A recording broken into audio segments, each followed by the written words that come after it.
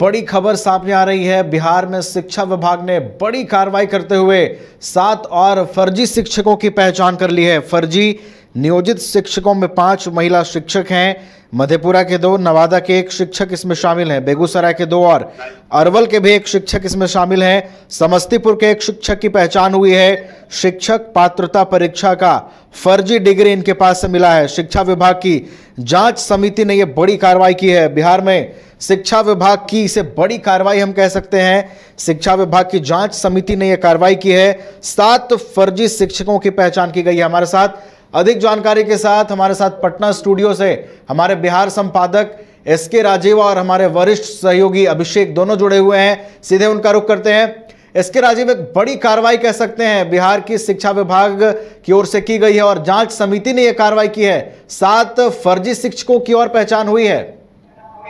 देखिए नवीन जो मेरे पास जो जानकारी अभी आई थी और जो मैंने एक किया है उसमें साफ़ ये है कि बिहार में शिक्षा विभाग की एक बड़ी कार्रवाई हुई और आपको याद दिलाएँ कि कल भी एक बड़ी कार्रवाई हुई थी जिसके तहत की चौरानवे यानी कि कुल नाइन कुल नाइन्टी फोर जो निजी विद्यालय है उनको बंद करने का आदेश दिया गया था के पाठक की तरफ़ से और आज फिर एक बड़ी कार्रवाई शिक्षा विभाग की तरफ़ से की जाती है इसमें सात फर्जी शिक्षक पकड़े गए हैं। इन फर्जी शिक्षकों में पाँच महिला शिक्षक हैं इसमें मधेपुरा के दो, नवादा के एक शिक्षक शामिल हैं। बेगूसराय के दो अरवल के एक और समस्तीपुर के एक शिक्षक की पहचान की गई है। और इन लोगों के पास से जो डिग्री मिली है, वो कहीं ना कहीं से फर्जी डिग्री है और शिक्षा विभाग की जाँच समिति के द्वारा जो है अभी पूरे बिहार में जाँच की जा रही है, उसके बाद ये कार्रवाई जो की गई है। हमारे साथ अभिषेक है हमसे लगातार पत्रकारिता में सचिवालय वीट को कवर करते रहे हैं।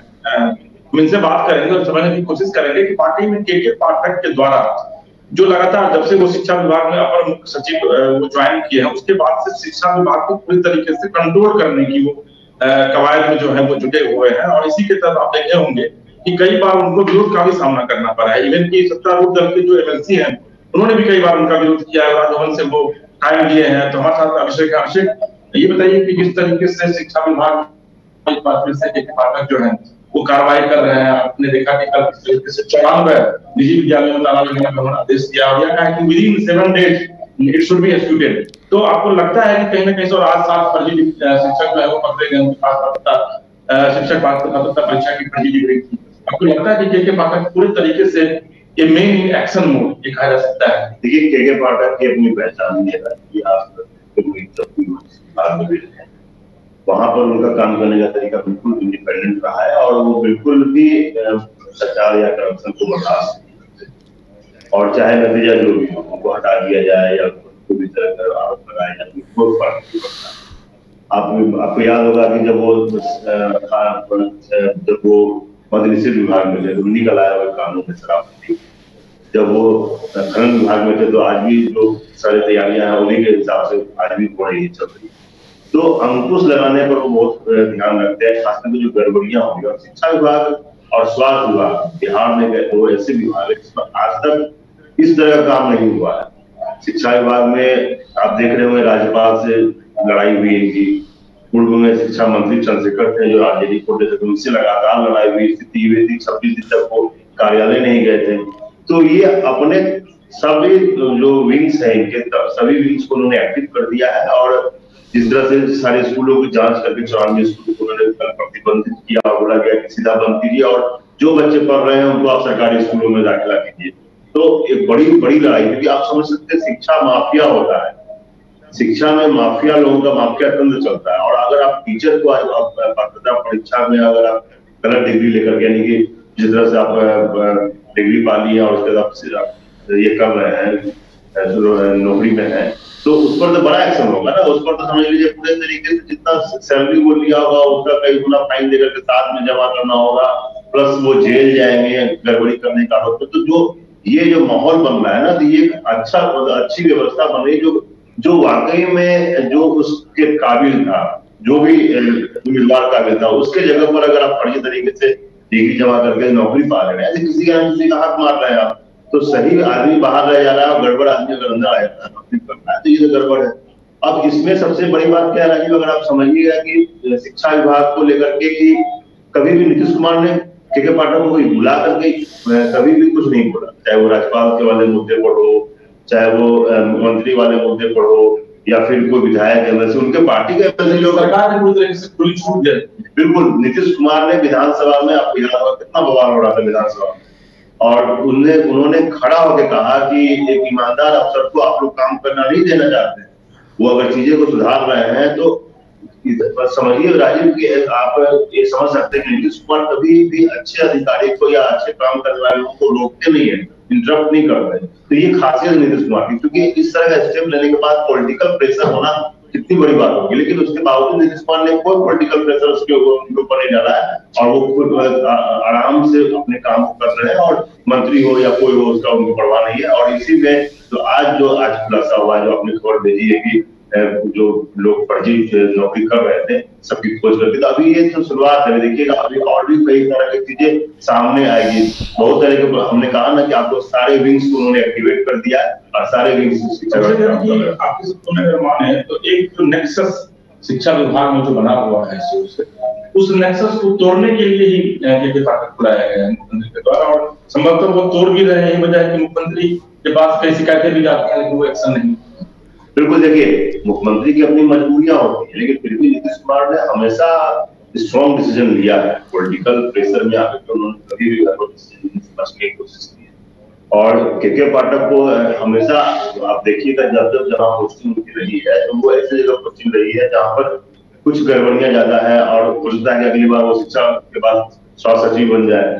तो ऐसा कोई बड़ी बात नहीं लेकिन ये जो व्यवस्था जो लगातार वो डेली कुछ ना कुछ काम है डेली वो खुद निकलते हैं फ़ील्ड में। स्कूलों का दौरा करते हैं, स्कूल में जो कमियाँ रहती है, उसकी बात करते हैं, और वो सीधा इंस्ट्रक्शन देते हैं मतलब स्कूल में आज पढ़ाई होने लगा। आपको आपको आश्चर्य होगा राजीव जी, आप जानते भी होंगे कि जो इस स्कूल में बच्चे जाते नहीं, टीचर नहीं पहुँचते थे टीचर राजनीति करते थे, क्योंकि सब लोग संघ अगर आपको बिहार में शिक्षक संघ की बात करी, कहा जाए तो करीब एक सौ से ऊपर संघ है शिक्षकों का। अब सोचिए, सारे संघ का दबाव सरकार के ऊपर। और आप समझिए कि सारे बूथ पर टीचर रहते हैं वोटिंग के टाइम में। तो कितनी बड़ी चुनौती है सरकार के लिए। उसके बावजूद सरकार अगर स्टूडेंट कर मिले तो बड़ी बात है कि अगर आप शिक्षकों से खिलाफ में जाकर के आप समय सारणी को लेकर कितना बवाल हुआ था कि टाइम गड़बड़ है, हम गर्मी, अभी गर्मी छुट्टी बच्चों का था, लेकिन टीचर छुट्टी में स्कूल जा रहे थे, काम कर रहे थे। वो कहा गया कि आपको काम करना होगा, आप आइएगा आपको उसी छुट्टी मिलेगी गर्मी की तो विरोध काफ़ी है लेकिन इस बीच में जो लगातार जो अच्छे काम हो रहे हैं कि जैसे आप स्कूल जो स्कूल न सीबीएसई से रजिस्टर्ड है ना आईसीएसई बोर्ड से रजिस्टर्ड है ना बिहार बोर्ड से रजिस्टर्ड है वो स्कूल चला रहा है। तो आखिर वो पैसे का तो कोई वाइट तो सो, सो होगा नहीं क्योंकि वो वो बच्चे रजिस्टर्ड ही नहीं है। वो तो कब रजिस्टर्ड होंगे जब जाकर के नौवीं में हमसे कर रहा हूँ आपसे और ये मेरे चैनल में लगातार विधानसभा को भी मैंने कवर किया है। इस तरह हंगामा हुआ के पता कीमत आखिर सत्ता पक्ष की जो एनर्जी है। आपने देखा कि उन्होंने भी के पाठक की कार कार्यशैली को लेकर के। नीतीश कुमार के ऊपर सवाल उठाया किया और नीतीश कुमार उस पर कोई कार्रवाई नहीं की। तो आखिर क्या वजह है कि नीतीश के अपनी जो एमएलए और एमएलसी हैं, वो भी एक पाठक को लेकर के सवाल खड़ा करते हैं। देखिए, नीतीश कुमार के जो एमएलसी हैं या फिर किसी भी पार्टी के एमएलसी हैं, आप याद कीजिएगा कौन कौन लोग हैं उनके खिलाफ होते हैं नवल किशोर यादव, संजीव श्याम सिंह आपको मदन मोहन झा तो ये लोग किसका वोट लेके आते हैं? ये लोग टीचरों का वोट लेके आते हैं। जिन लोगों का वोटर टीचर है। ये अपनी बातों को रख करके उनको संतुष्ट कर रहे हैं। एक्शन तो कुछ हो नहीं रहा। तो ये अपने वोटर को संतुष्ट करने के लिए चीज़ें कर रहे हैं। लेकिन उनको भी पता है कि सीएम से मिल लेंगे या राज्यपाल से मिल लेंगे कुछ होना अब नहीं है। जो आदमी राज्यपाल से नहीं मिलता है राज्यपाल अगर आधा घंटा वेट करके वापस चला जाता है एक विभाग मतलब एक सरकार में एसीएस रैंक का ऑफिसर राज्यपाल सबसे ऊँचे पोस्ट पर होते हैं। तो आप समझ सकते हो, उसके बाद तो कुछ बचता ही नहीं। बीपीएससी सिंह की लड़ाई हुई। आपको याद होगा बीपीएससी में बहाली को लेकर कितनी लड़ाई हुई? हमारे सामने में स्टेट गेस्ट हाउस में मुख्यमंत्री के प्रधान सचिव बीपीएससी के चेयरमैन और के पाठक ने बैठ करके मुख्यमंत्री, प्रधान सचिव ने पंचायती किया बकायदा। जिसको कहा जाता है ना कि पंचायती पंचायती हुआ। के पाठक का कदम का इतना बड़ा है के पाठक को कोई कुछ भी नहीं बोलता है, खास करके नियम कानून को लेकर क्योंकि वो खुद बहुत जानकार है और वो सही चीज़ को लेकर के वो कभी भी मतलब उनका एक लाइन में रहता है कि अगर हमको आपको हटाना है, हटा दीजिए लेकिन हमारा जो काम है, हम हम वही काम करेंगे। आपके करने से हम कोई काम गलत नहीं करेंगे। तो इस तरह का अगर स्टेप हो रहा है तो आप समझिए कि अगर टीचर जो नौकरी कर रहे हैं, वो पाए जा रहे हैं तो एक बड़ी बात है बिहार के लिए।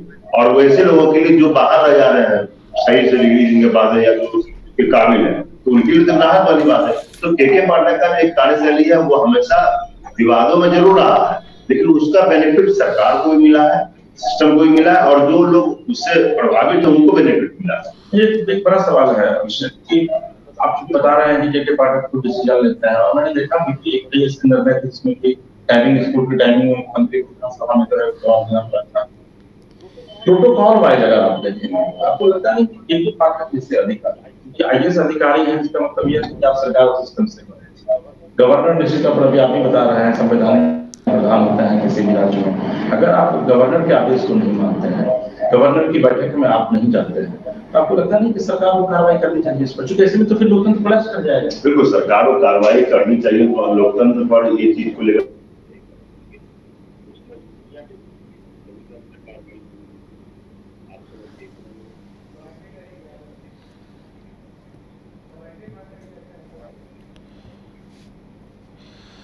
तो बड़ी कार्रवाई बिहार में शिक्षा विभाग ने कर दी है। सात फर्जी शिक्षकों की पहचान की गई है और अब निश्चित रूप से इस कार्रवाई के बाद ये सवाल भी खड़े हो रहे हैं कि जो नियोजित शिक्षकों की जो परीक्षा हुई थी, क्या उसमें बड़े पैमाने पर घोटाले हुए हैं? क्योंकि इस तरीके के जब मामले सामने आते हैं तो निश्चित रूप से जो परीक्षाएँ आयोजित की जाती हैं, उस पर भी सवाल खड़े होने लाजमी हैं।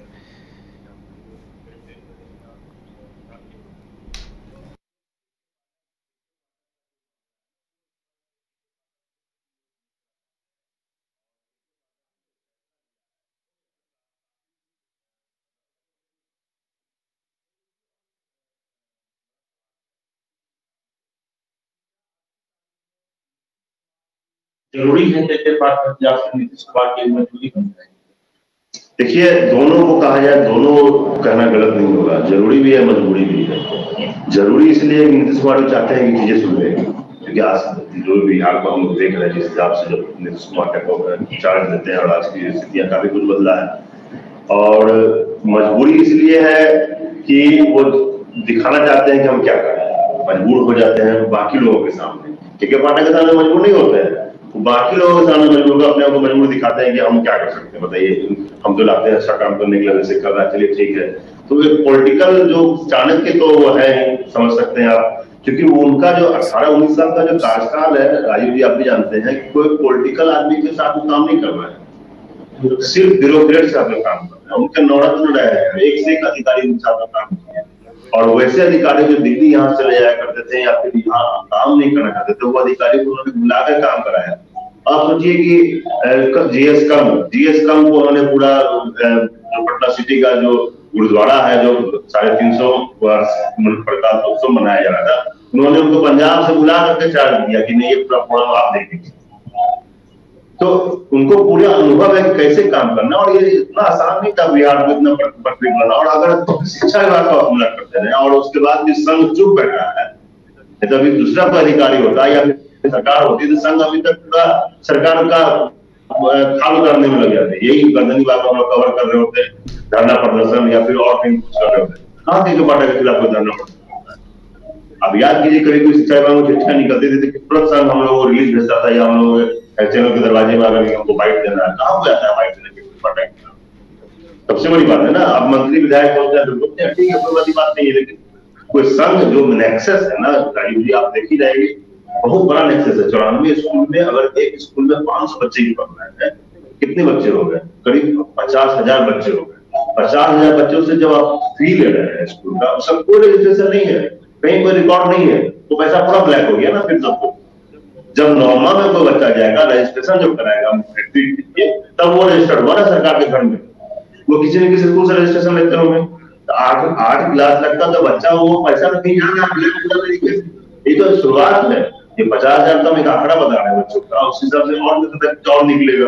तो गड़बड़ चीज़ें तो हो रही है। उसको अगर आप स्कूल चला रहे हैं, आप मोटा रुपया कमा रहे हैं, तब रजिस्ट्रेशन लीजिए। क्योंकि रजिस्ट्रेशन लेने का कारण क्या होता है? कि रजिस्ट्रेशन आईसीएससी बोर्ड या सीबीएसई बोर्ड तभी देती जब वो सब क्राइटेरिया फुलफिल करते हैं। तो आज पटना की सड़कों में हम लोग कितनी बार खबरें चलाए हैं कि गलियों में, तंग गलियों में स्कूलें चलाई जाती है, या जहाँ पर सही से प्ले ग्राउंड नहीं है ओपन एरिया नहीं है, वहाँ स्कूलें चलाई जाती है। क्योंकि आप जिस हिसाब से स्कूलें चलती है वो शहरों में, अगर कोई भी देख ले तो वहाँ स्कूल चलने लायक स्थिति में नहीं है तो उसको रजिस्ट्रेशन मिलेगा ही नहीं। उसको रजिस्ट्रेशन नहीं मिला वो इलीगल चल रहा था, आज तक इस पर कोई एक्शन तो हुआ नहीं था। तो के के पाठक का ये सब जो काम है ना, ये बिल्कुल आपको कहा जाए कि मतलब सोशल वेलफेयर का काम है अगर आप समाज को सुधार रहे हैं, अगर वो गुरमुद्दे की तरह जो स्कूल चला रहे हैं और हम लोग देखते हैं जब हम लोग खबरें चलाते हैं कि टेंपो में भेड़ बकरियों की तरह बच्चों को जब लाद करके ले जाया जाता है। कितनी बार खबरें चली हैं, हम चाहते रहे हैं कि कैपेसिटी है आठ आदमी का वहाँ पर सोलह बच्चा बैठा है या बीस बच्चा बैठा है। तो ये सब चीज़ें तो रुकनी चाहिए थी ना, क्योंकि आप बच्चे, हर बच्चे का गार्जियन से पैसा ले रहे हैं आप सिस्टम से। तो लेकिन सुविधा लेकिन नहीं दे रहे इसीलिए के पार्टनर जो कर रहे हैं ना, वो कई महीनों में गड़बड़ भी आते हैं, क्योंकि आप संविधान निर्माण कर देते हैं।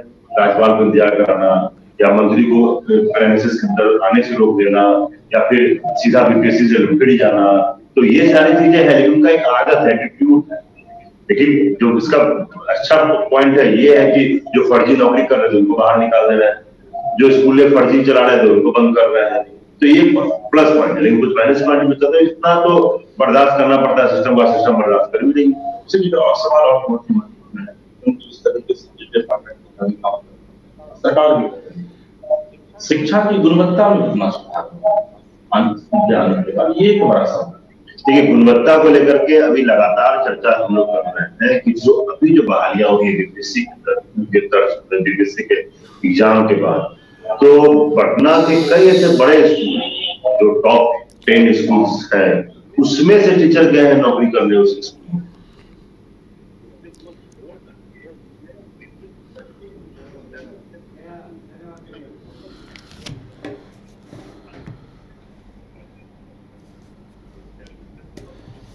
बिहार में बड़ी कार्रवाई शिक्षा विभाग की ओर से की गई है। सात फर्जी शिक्षकों की पहचान हुई है और आपको बता दें कि शिक्षा विभाग की जाँच समिति ने यह कार्रवाई की है। समस्तीपुर के एक शिक्षक की पहचान हुई है, बेगूसराय के दो और अरवल के एक शिक्षक की पहचान हुई है, मधेपुरा के दो, नवादा के एक शिक्षक इसमें शामिल हैं और फर्जी नियोजित शिक्षकों में पाँच महिला शिक्षक शामिल हैं।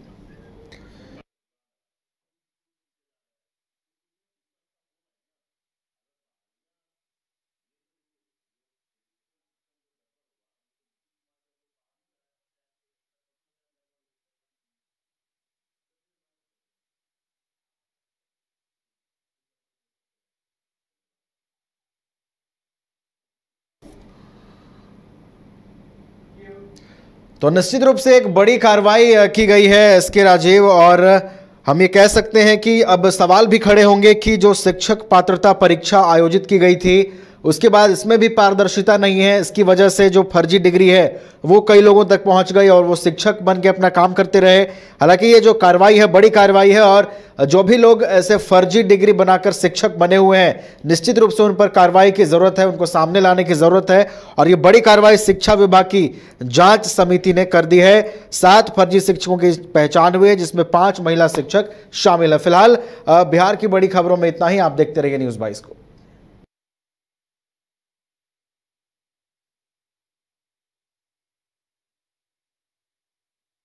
26 वर्षों में 17,000 से अधिक डॉक्टर बना चुका बिहार एवं झारखंड के छात्रों के बीच विश्वसनीय संस्थान गोल। कमाल करते हो जी। बच्चे घूमने की इतनी जिद कर रहे हैं और तुम हो कि तुम्हें फुर्सत ही नहीं मिल रही। अब इतनी गर्मी में जाए तो जाए कहाँ? इस गर्मी में मस्ती और फन का आ गया है परफेक्ट डेस्टिनेशन वाइल्ड वादी जहाँ है water park bird park flower park trampoline park amusement park 250 feet लंबा जिप लाइन और क्रिकेट स्टिमुलेशन का खूबसूरत नज़ारा वाइल्ड वादी दस माइल चौक, रांची। वाइल्ड वादी यानी अनलिमिटेड फन और अनलिमिटेड मस्ती।